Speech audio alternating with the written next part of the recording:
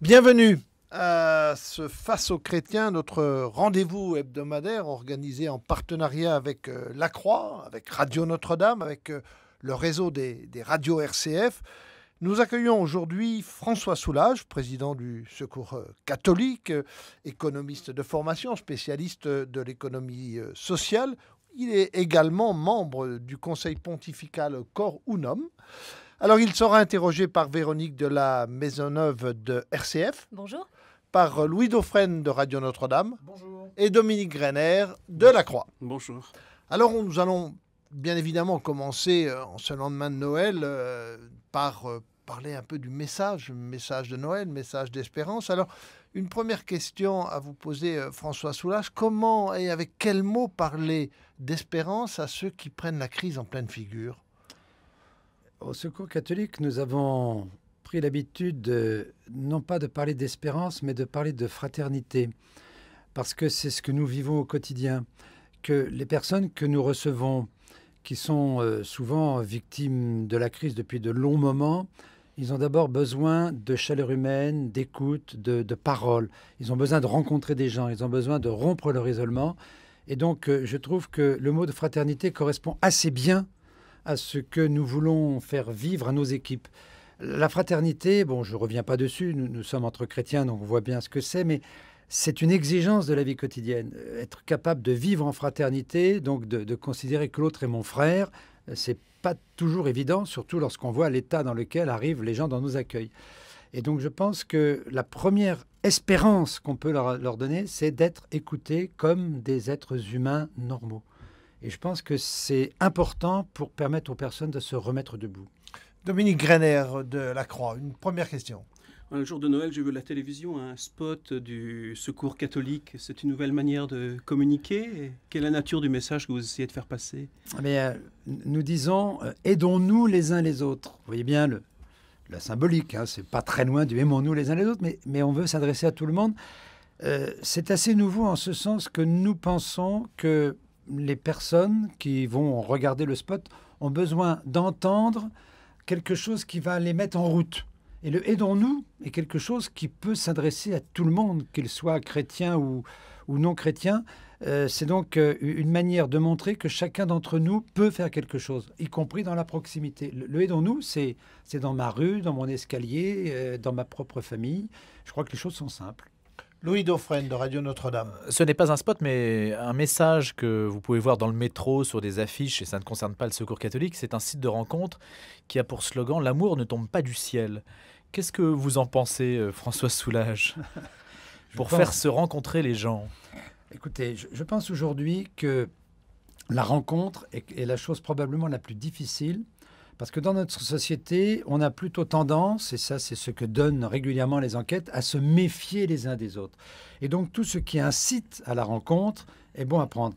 Et quand on dit que ça ne tombe pas du ciel, je, pense qu'il faut qu'on le veuille qu'on veuille rencontrer et pousser à la rencontre. C'est ce que nous faisons, nous, euh, dans, toutes nos équipes. Euh, il ne suffit pas simplement, par exemple, de, distribuer de la nourriture. Il faut rentrer en contact avec les personnes pour que ce geste de générosité trouve un sens et non pas simplement euh, descendant. Donc je trouve que tout ce qui permet une rencontre est bon à prendre.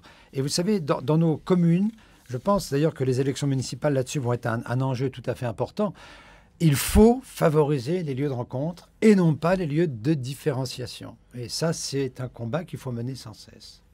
Véronique de la Maisonneuve de RCF. Puisqu'on parle le message de Noël, parlons un peu de cette bénédiction Urbi et Orbi du, du, pape François, la première de son pontificat. Euh, on parle beaucoup de ce pape qui marque beaucoup et même au-delà des catholiques. Euh, Qu'est-ce que vous en pensez euh, Qu'est-ce que vous avez pensé en le voyant là, à ce jour de Noël? Eh Bien écoutez, moi j'ai trouvé que euh, la manière, d'abord la manière de parler, et puis ensuite les points qu'il a abordés évoquent bah, l'actualité dont on parle à la télévision, à la radio tous les jours, et que le pape en parle à sa manière à lui, avec ce message de la paix, la paix. Mais la paix, elle commence. Le seul moment où il est sorti de son discours, c'est la paix est artisanale eh bien, cela veut dire que la paix, chacun d'entre nous peut la construire. J'ai trouvé que c'était extrêmement important. Pour moi, c'était le mot le plus important de son discours. C'est la paix, elle est d'abord l'œuvre de chacun d'entre nous. Mais il prend appui sur des choses que nous entendons, des choses qui sont de la vie quotidienne. Lorsqu'il parle des femmes battues, lorsqu'il parle des enfants maltraités, ben, c'est de la vie quotidienne. Et je crois que c'est ça la force du pape aujourd'hui, c'est qu'il s'appuie sur la vie quotidienne pour avoir un message, un message d'amour, un message d'amour et de paix, mais en donnant à la paix non pas euh, l'idée de quelque chose d'un peu euh, surnaturel, enfin, mais non, la paix, c'est là, c'est du concret aujourd'hui, maintenant. Et ça, je crois que c'est ça qui frappe dans un monde plutôt guerrier, parce qu'enfin, quand même, on est dans une atmosphère plutôt guerrière. Tout d'un coup, cet homme parle de paix sans cesse, sans cesse. Et ça, je crois que ça impressionne les gens. Dominique Renner de la Croix. Oui, pour poursuivre sur ce message de paix, le, pape a tracé une géographie en évoquant un certain nombre de pays, notamment en Afrique, au Moyen-Orient. Ça correspond aussi à la géographie de, vos préoccupations, des interventions du Secours catholique? Bah, il, se trouve que euh, aussi bien la Centrafrique que le Soudan du Sud ou, la Syrie, nous y sommes extrêmement présents à travers le réseau des Caritas puisque le Secours, euh, catholique, c'est Caritas France, hein, nous appartenons à ce grand réseau mondial. Et euh, aujourd'hui, euh, en Centrafrique, euh, l'archevêque de Bangui s'appuie beaucoup sur les caritas paroissiales qui essayent de tenir le coup. Ce que, ce n'a pas dit la grande presse, c'est que les caritas, elles sont là aussi dans ce dialogue avec les imams locaux. Ah, moi, je suis allé en Centrafrique il y a un an et demi, et je peux vous dire qu'à Bangui, comme à Bambari ou à Bassangoa, il y a des caritas locales qui essaient de jouer le jeu de ce dialogue entre chrétiens et musulmans. Mais c'est la même chose au Soudan du Sud le Soudan du Sud, euh, où euh, il y a maintenant un, prémisse de guerre civile. Euh, mais ce n'est pas ce qui s'est passé auparavant lorsque le Soudan du Sud s'est séparé du Soudan du Nord, puisque on a présenté ça comme séparation entre des musulmans et des chrétiens, ce qui d'ailleurs est, est, faux. C'est la séparation entre des Arabes et des Africains. Et là, ce qui se passe en Soudan du Sud, c'est encore la même chose. C'est-à-dire que les, les Soudanais du Sud, du Nord du Soudan, sont plutôt des Arabes encore, même s'ils ne sont pas musulmans, mais ils sont de culture arabe alors que Jouba, la capitale, ce sont des cultures africaines. Et ça, c'est important parce que ce n'est pas un conflit musulman-chrétien, c'est un conflit arabe-africain. Mais nous sommes très présents là aussi à Jouba, et nous sommes évidemment très présents en Syrie à travers la Caritas Syrie et la Caritas Irak. Et quand vous dites euh, nous sommes très présents, c'est pour y faire quoi? Alors c'est pour très concrètement euh, en Centrafrique, maintenant, c'est l'accueil des réfugiés, puisque les populations fuient. Et donc, en Centrafrique, nous sommes aux côtés des musulmans comme aux côtés des chrétiens. cela dépend des villes. En Syrie, c'est les réfugiés syriens qui viennent au Liban à travers euh, le Caritas Liban et euh, avec Caritas Liban à, travers l'action de Caritas Syrie. Et auparavant, nous étions en Irak, euh, mais plutôt dans la zone du nord, à Mossoul, avec les églises chrétiennes de Mossoul. Actuellement, c'est l'aide aux réfugiés c'est de faire en sorte que les conditions sanitaires, les conditions d'éducation des enfants, nous ouvrons des écoles pour que les enfants soient scolarisés. Louis Dauphren, Radio Notre-Dame. Alors vous avez dit pour le Soudan, le clivage c'était arabe-africain. Euh, pour la Centrafrique, c'est un clivage religieux. Ça Donc, parce que là, vous avez dit euh, chrétien-musulman. mais là, il faut être quand même peut-être prudent, non? ah ben, Je ne sais pas, François Non, non, non, non. En Centrafrique, c'est pareil. Ce n'est pas, c'est pas un conflit euh, chrétien-musulman. Vous savez, D'accord. En, Centrafrique, c'est d'abord des animistes.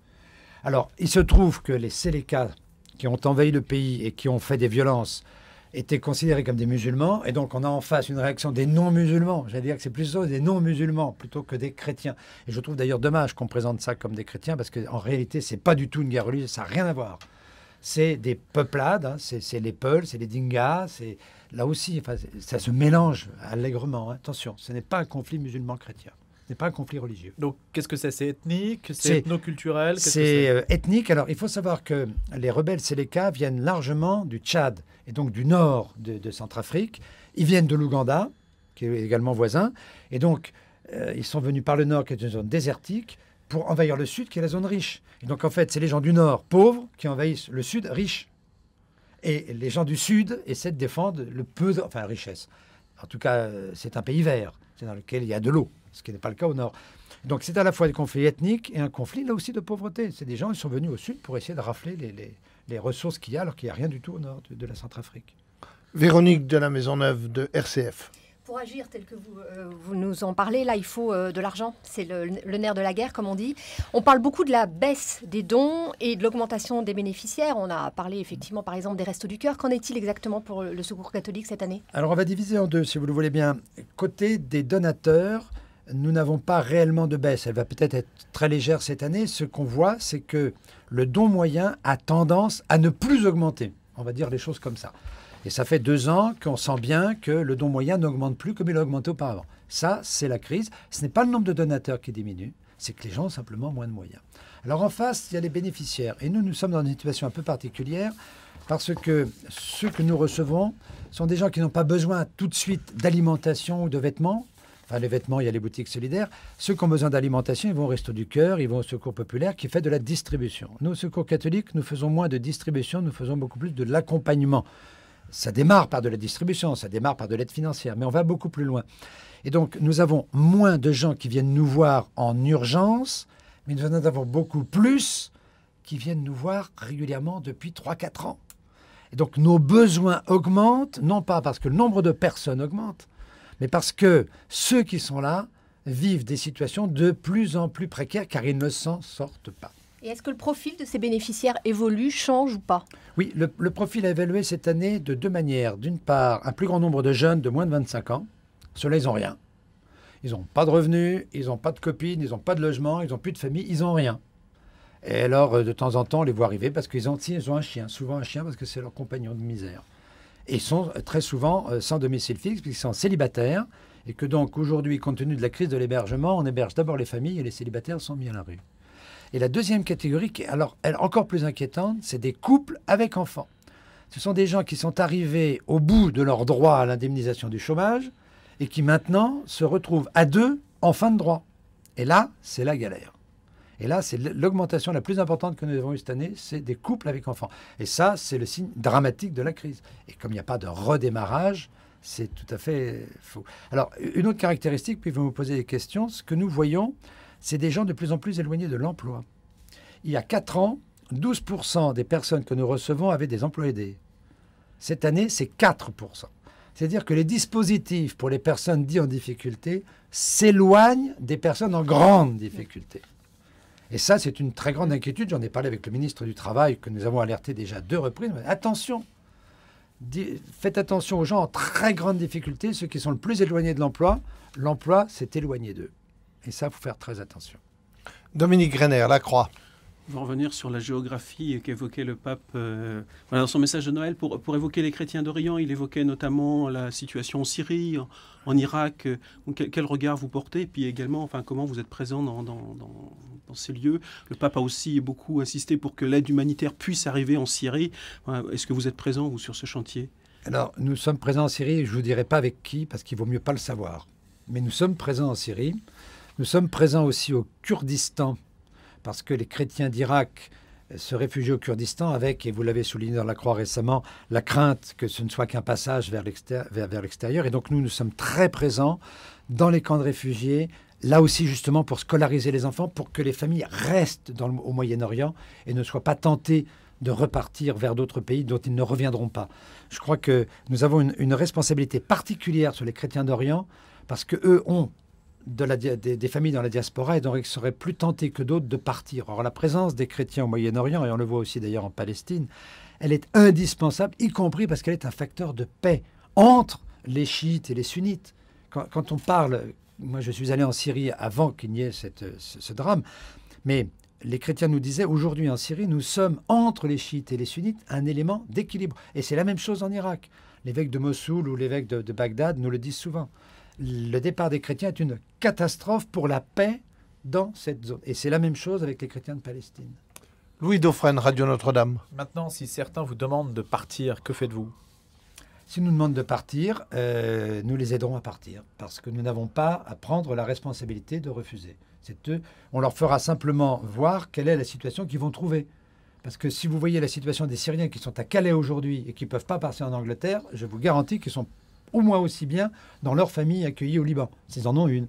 Sinon, aucun point d'appui au Liban, on comprend qu'ils aient envie de partir. Mais nous ne les incitons pas à partir parce que la situation qu'ils peuvent trouver chez nous n'est pas forcément meilleure que celle qu'ils auront ou qu'ils pourraient avoir en restant dans leur pays si un jour la paix revient. Mais dans la mesure où la situation ne s'améliore pas en Irak, par exemple, vous pouvez les maintenir ad vitam dans des conditions précaires? Non. En fait, dans des camps qui sont des villes improvisées non, non, nous, n'avons, nous ne tenons pas à les maintenir, mais nous, n'avons, nous ne voulons pas nous donner la responsabilité de les aider à partir, s'ils ne le veulent pas. Dominique Greiner, La Croix. Et du côté de la Terre Sainte, comment vous êtes présent? En Terre Sainte, nous sommes présents à travers la Maison d'Abraham à Jérusalem, qui est euh, une maison d'accueil des acteurs de paix. Hein, ça nous a été une mission qui nous a été confiée par Paul VI il y a maintenant 50 ans. Donc j'espère que le pape François va renouveler cet engagement, puisque ce sera juste l'année du, cinquantenaire. nous aidons beaucoup la Caritas Jérusalem, qui est implantée en Israël. Et euh, nous travaillons avec euh, les églises chrétiennes palestiniennes à travers la partie de la Caritas Jérusalem qui est en Palestine. Et euh, ce que nous faisons, c'est de la scolarisation des enfants et de l'aide à la santé et de la formation de cadres. Nous avons là une spécificité, nous aidons à travers la Caritas Jérusalem les cadres palestiniens, notamment dans le domaine de la santé. Merci. Nous marquons euh, avec euh, ce rendez-vous avec François Soulage, nous marquons une première pause dans ce Face aux chrétiens et nous nous retrouvons dans un très court instant. Nous nous retrouvons pour cette deuxième partie du Face aux chrétiens organisé, comme vous le savez, en partenariat avec la Croix, Radio Notre-Dame et RCF. Et nous avons comme invité euh, cette semaine François Soulage, président du Secours catholique, économiste, spécialiste de l'économie euh, sociale. Il est interrogé par euh, Véronique de la Maisonneuve de RCF, Louis Dauphren de Radio Notre-Dame et Dominique Greiner de La Croix. Et nous allons maintenant parler, même si ça a déjà été évoqué tout à l'heure un peu, de la situation, plus particulièrement de la France. Alors, François Soulage, une première question. Comment qualifier cette espèce de, de tension que l'on sent en ce moment, de crise larvée? Est-ce que c'est une crise de confiance? Est-ce que c'est simplement une crise du politique? Ou est-ce que c'est plus grave? Est-ce que c'est une crise de société où les gens ben, ne retrouvent plus le, goût du vivre ensemble? J'ai le sentiment que notre, notre population, et donc nous autres, euh, comprenons que nous sommes dans un pays qui finalement est un pays vieux. Quand je dis vieux, n'est pas un pays de vieux, hein, un pays vieux, c'est-à-dire mm. un pays d'une vieille civilisation, avec des réflexes bien ancrés, avec des structures, euh, qui d'ailleurs il s'agit des structures étatiques, des structures communales euh, bien installées, mais très difficiles à faire bouger. Or, le monde bouge et bouge à toute vitesse. Moi, je suis allé euh, en Chine récemment, je suis allé au Vietnam. Enfin, quand on revient de ces pays, on se dit que il faudrait qu'on bouge. Et, c'est très difficile de faire bouger un pays comme le nôtre, qui, est un pays qui a ses structures, qui a ses habitudes, qui a ses, oui, ses comportements, y compris d'ailleurs dans le monde politique. Et du coup, il y a une espèce de peur de l'ensemble des partenaires, qu'il s'agisse d'ailleurs aussi bien des chefs d'entreprise que des politiques, que du simple citoyen, de se dire, et si on est en train de sortir du monde qui bouge? Et donc du coup, on a peur. Et cette peur, elle se répercute d'abord chez les politiques, honnêtement, aujourd'hui, euh, j'ai l'impression que les politiques savent plus très bien ce qu'il faut faire. Que ce soit ceux qui sont actuellement au pouvoir comme les précédents, en plus, il n'y a pas vraiment une différence fondamentale entre eux parce qu'on ne sait pas très bien quoi faire dans un pays qui n'a plus les atouts qu'il avait. 67 millions d'habitants face à 1 milliard 400 millions de Chinois, on voit bien que euh, c'est pas tout à fait, on joue pas dans la même cour et qu'en plus, nous n'avons pas la même culture, les mêmes civilisations, les mêmes réflexes, la même attitude par rapport aux, hommes la vie au travail n'est pas la même chez nous, heureusement qu'en Chine, mais en même temps, ça pose des problèmes et on ne sait pas par quel bout prendre la question. Et donc cette peur, elle est un peu partout. Et il n'y a pas, me semble-t-il, et c'est peut-être notre responsabilité de chrétiens, de, et c'est par là que vous avez commencé tout à l'heure, de, signaux qui montrent que nous avons encore une place particulière à jouer. Alors notre diplomatie essaye, et on le voit bien régulièrement, les cocoricots de la diplomatie française, ça fait 20 ans que ça dure, elle essaye de montrer que la France est toujours présente au niveau mondial, mais, en même temps on est un tout petit pays, et comme l'Europe ne se fait pas, parce que l'Europe aurait pu être cet, élément dynamique, mais l'Europe, elle piétine dramatiquement. Et donc, je crois que c'est un problème de manque de perspective. Véronique de la Maisonneuve de RCF. Euh, en janvier dernier avait lieu une conférence de lutte contre l'exclusion euh, qui avait été euh, mise en place par le gouvernement. Un an après, où est-ce qu'on en est? Est-ce que ça a porté ses fruits? Est-ce que vous avez confiance dans les décisions gouvernementales? Alors, oui, finalement, parce que moi je vois ça de l'intérieur, parce que j'ai notamment présidé un, un groupe de travail sur l'inclusion bancaire. Toutes les mesures que nous avions demandées sont en train d'être réalisées. Simplement, c'est très long parce que ça passe par une loi, la loi bancaire, ou la loi consommation, ou la loi logement qui n'est pas encore votée. Et puis derrière, il faudra toute une série de décrets. Mais tout est sur la table et tout est en train d'être fait. Dans le domaine de l'emploi, nous avions demandé fortement une relance des emplois aidés, nous avions demandé que les emplois d'avenir se déploient. Ça se met en place, mais c'est extrêmement long. Et comme en plus ce gouvernement ne sait pas communiquer, il y a des tas de gens qui ne savent pas qu'une partie, je ne dis pas que tout est réalisé, mais qu'une partie de ce qui avait été annoncé est en train de se réaliser.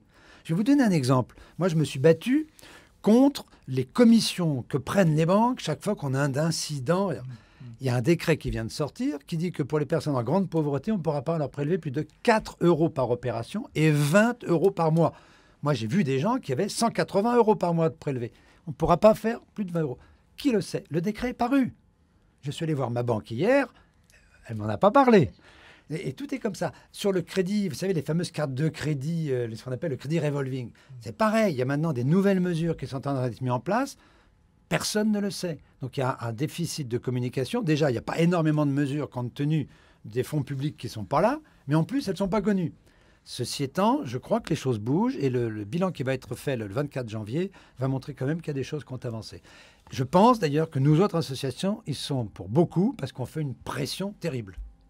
Louis Dauphren de Radio Notre-Dame. Vous avez dit tout à l'heure pays de vieux, pas forcément pays de vieux, mais pays vieux. Est-ce que ce n'est pas lié à nos structures euh, d'emploi public qui sont quand même extrêmement élevées? Il y a 7 millions de personnes en France qui vivent quand même du secteur public. Est-ce que c'est pas trop? Est-ce que ça coûte pas trop cher? Est-ce que l'argent public n'est pas mal employé? Est-ce que finalement tout cela ne se fait pas au détriment des pauvres?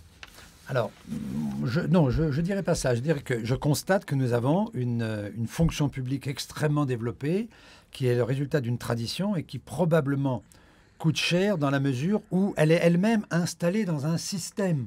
Moi, dans ma commune de Nanterre, euh, en 12 ans de mandat municipal, je n'ai jamais vu un seul redéploiement. On a créé des emplois et il n'y a jamais eu de redéploiement. Donc il y a à l'évidence, c'est là aussi le phénomène d'un pays vieux, on reste sur des mécanismes, on a besoin de choses nouvelles, on les ajoute, mais on ne revisite pas. On crée des régions, mais on n'allège pas les conseils généraux, on crée des communautés de communes, mais on n'allège pas les communes. Ceci étant, chaque fois, les choses qui sont faites sont intéressantes, mais il y a besoin de revisiter la manière dont elles sont faites. moi, je répondrai à votre question. Je pense qu'il y a aujourd'hui trop d'agents publics parce qu'on a ajouté des fonctions sans regarder si une partie d'entre elles ne pouvait pas être gérée différemment. Dominique Greiner, La Croix. Et quel lien on peut faire entre cette rigidité des, structures que vous évoquez, puis la montée de la pauvreté? Est-ce qu'il y a un lien entre les deux? Comment ça se fait aujourd'hui que finalement ce soit les plus pauvres qui, semblent payer les fruits de la crise? De, notre point de vue du Secours catholique, la raison essentielle du fait que ce soit les plus pauvres qui souffrent le plus, c'est la complexité. Savez-vous que la moitié des personnes qui pourraient avoir le RSA ne le demandent pas? Qu'un tiers des personnes qui pourraient avoir l'allocation logement ne l'ont pas. Mais regardez sur Internet comment on fait pour demander de l'allocation logement. J'ai voulu faire ça pour ma fille. Au sixième clic, je me suis arrêté parce qu'il y avait des termes que je ne comprenais pas si je si n'avais pas plongé.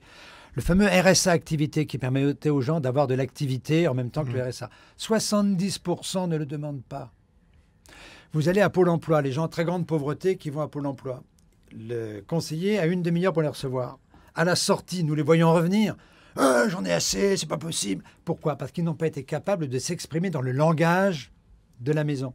Alors nous, ce qu'on essaie de faire, c'est de les former d'abord, d'abord qu'ils aillent se réinscrire, parce que s'ils ne sont pas réinscrits, ils perdent leur droit à l'allocation chômage, et puis de leur dire non, de les remettre en confiance. Nous avons des mécanismes trop lourds, et la fracture numérique est en train de faire euh, du dégât, parce que les gens les plus pauvres n'ont pas accès Regardez le nombre de personnes qui, au décès de leur mari, mettent plus d'un an avant d'avoir la pension de reversion, parce que maintenant, il faut la demander par Internet. S'il n'y a pas un enfant pour les aider, eh bien, il ne se passera rien. Alors, ils vont recevoir des tas de papiers faisant référence à un site Internet, ils ne comprennent rien, ils abandonnent. Donc, je crois qu'il y a là euh, un facteur de pauvreté.